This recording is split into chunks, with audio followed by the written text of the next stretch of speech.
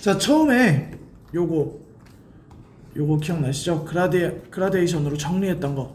자 그러려면 어떻게 했어요? 상부와 하부를 나눠서 그라데이션을 줘야 되는데 그냥 주시지 마시고 layer를 추가해서 상부 쪽 먼저 만들어낸다고 했죠.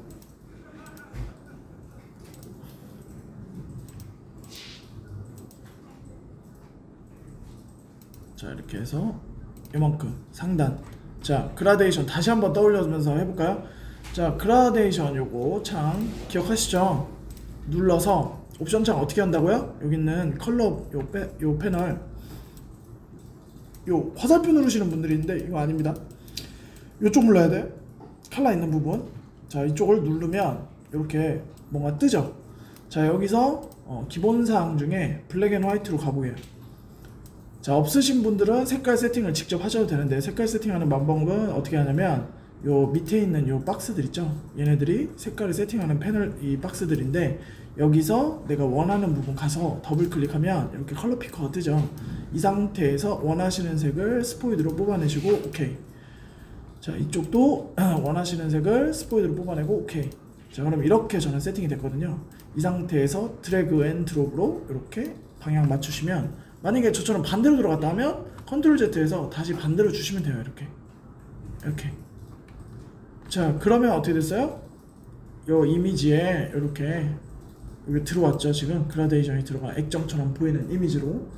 자 여기서 카메라에서 막히시잖아요. 막히신 분은 어떻게 하시면 되냐면 해볼게요. 일단 카메라가 어디 있는지를 찾아야 되는데 얘가 불투명하다 보니까 카메라가 어디 있는지를 알 수가 없어요. 그죠 그러면 이쪽에 layer opacity 여기 보이시죠? layer opacity 얘를 좀 낮춰서 뒤에가 비쳐 보이게 이렇게 만드는 거예요. 자 그러면 얘가 있는데 카메라가 지금 보이죠 위치가 그러면 가까이 가서 요만큼을 지워내면 되거든요. 지우개로 지우셔도 되고 아니면 요거 선택툴 있잖아요. 여기서 카메라 부분만 이렇게 선택해 주시는 거예요. 이렇게 그 상태에서 지워내면 되죠. 지우는 건 뭐였죠? delete. 이렇게 지워졌죠. 자 그러면 이제 제대로 됐는지 한번 다시 확인해 봐야 되니까 opacity를 다시 100으로 올려보게요. 제대로 됐네요. 그죠? 여기까지 일단 카메라가 없으니까 layer 추가해서 밑에 쪽 합니다. 자 밑에 쪽도 이렇게 영역을 잡아서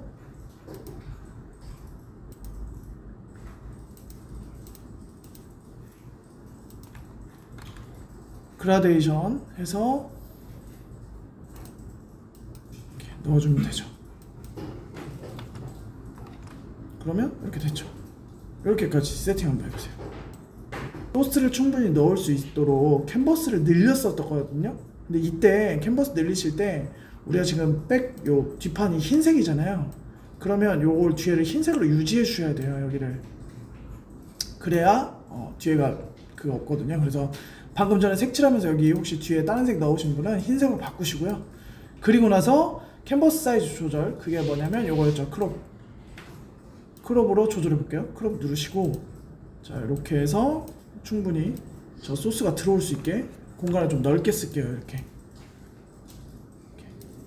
자, 그 다음에 얘를 가져오는데 어차피 지금 요 검은색 부분은 필요 없잖아요. 그죠? 그러면 어 전체를 가져올 게 아니라 요 정도만 가져와도 되겠죠, 그냥. 요 정도만. 이해되시죠? 어, 전체 다 가져올 필요 없잖아요. 어차피 비율에 맞지도 않는데. 그럼 요만큼만 잡아서 control C 복사, 그 다음에 여기 control V 이렇게 들어오죠. 들어왔어요. 여기까지 해보세요. 일단 지금 딱 two-tone으로 나눠졌는데 사실 얘는 세 개로 나눠져 있거든요. 이쪽 부분이 그리고 지금 나눠진 two-tone이 너무 어색하죠. 이럴 때는 layer를 하나 추가해서 여기다가 중간 면을 하나 더 넣어도 되겠죠. 이렇게 이런 식으로 해서 이렇게 해가지고 gradient로 이거보다는 이쪽으로 넣는 게 낫겠네요. 어우 너무 쓰다. 색을 세팅을 바꿔서 중간에 좀 어울리게 음,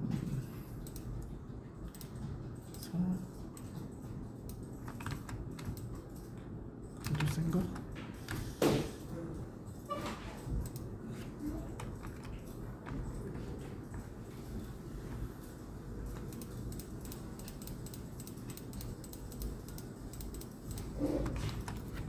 이런 식으로 해서 중간면이 조금 더 자연스러워지게. 그래서 퀄리티를 조금 올리고 가십시다. 그리고 요 가져온 애가 사이즈가 지금 저는 되게 작거든요. 왜냐면 제가 이 원본 사이즈를 되게 크게 열어서 그래요. 그러면 얘를 사이즈를 맞춰줘야겠죠? control T 혹은 여기 이미지에서 edit네요. edit에서 어, 이미지인가? 어, edit에서 free transform 요거 기억나시죠? 이걸로 사이즈 조절이 가능했어요. 회전도 되고 얘로 사이즈를 늘려줍니다. 충분히 들어갈 정도로. 한 이 정도면 될 것 같아요. 잘 모르겠을 때는 오퍼시티를 좀 낮춰서 이렇게 반투명하게 해서 비교해 보면 더 알 수 있죠? 이렇게.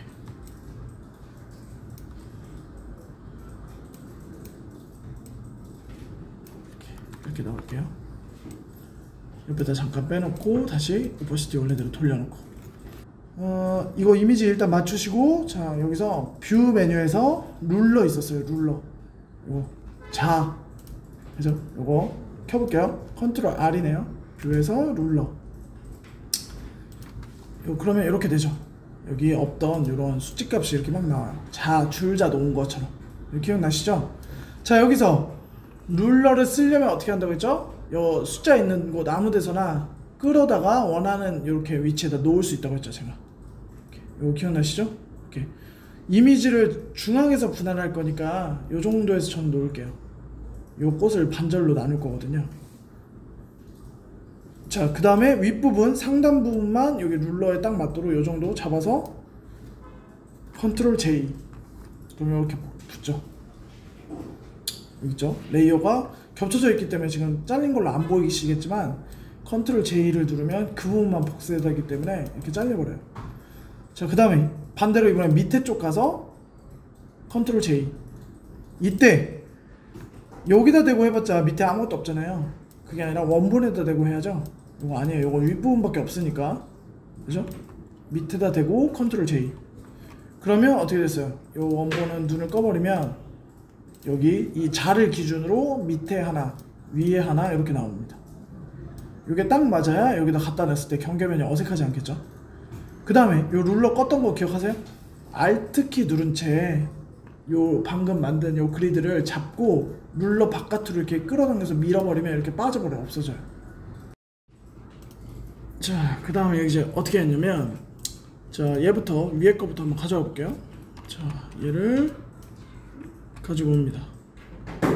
아까 반투명하게 해서 했기 때문에 이렇게 대충 사이즈가 맞으실 거예요. 그 다음에 컨트롤 T로 요걸 변형할 때 회전한다고 요거 각도 맞추려고 이렇게 하시는 분들이 있는데 이렇게 하면 안 되죠. 이게 아니라 컨트롤 T 해서 우리가 시프트를 누르고 하면 뭐 이런 식으로 형태를 이렇게 비율을 유지한 채 하거나 뭐 이런 식으로 옵션 창이 컨트롤 Alt 이쪽에 다 있는데 이번에는 컨트롤 옵션을 써볼 거예요. 그래서 컨트롤 누르신 채 끝에 있는 요 조절바 여기죠. 요 모서리 부분에 있는 애를 잡아서 요 각에 맞게 이렇게 넣으셔야죠. 이렇게 이렇게 이렇게 이렇게 넣어줘야겠죠. 그러면 밑에 쪽도 똑같죠? 가져오셔서 컨트롤 T 누르시고 컨트롤 누른 채 이렇게 이렇게 이렇게 이렇게 자 여기서 주의하실 거는 이 이미지가 좀 잘 맞도록 조금 디테일하게 해주셔야죠 이렇게 잘 맞도록 이렇게 해서 이렇게 이미지가 좀 잘 맞죠?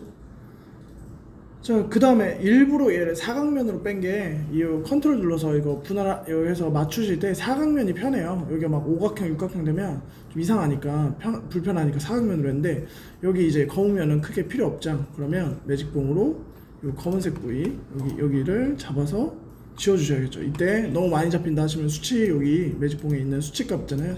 저는 33으로 되어 있는데 이 수치를 낮추면 더 예민해집니다 매직봉이 그래서 어, 너무 많이 잡힌다 하시면 수치를 좀 낮춰보세요 최대 1까지 낮추시면 돼요 이렇게 해서 지워주시면 꽃만 이렇게 남죠 근데 얘가 너무 확 튀니까 오퍼시티를 좀 낮춰서 이렇게 묻히도록 여기를 이렇게 마무리해서 어, 정리해 주시면 완성이 됩니다. 이렇게 해서 음, 완성까지 한번 해보세요